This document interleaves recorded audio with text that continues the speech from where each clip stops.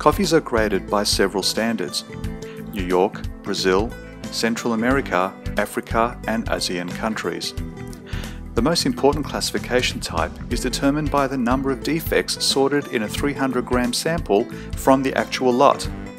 A defect can be three shells, or five unripe beans, or one large stone. Six defects is considered a grade 2, nine defects is a grade 2 to 3, and 13 defects is a grade 3. So several irregularities can amount to one defect depending on the result of the cup.